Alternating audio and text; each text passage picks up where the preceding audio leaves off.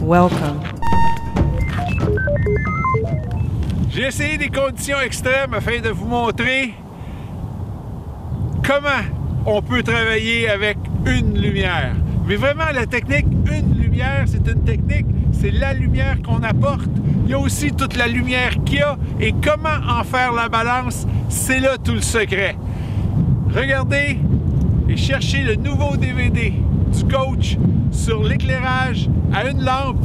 Mais le vrai titre, c'est On travaille jamais vraiment avec une seule lumière.